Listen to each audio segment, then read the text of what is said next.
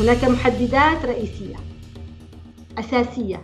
لبناء سلام مستدام في اليمن عدم المس بالجمهورية ووحدة التراب اليمني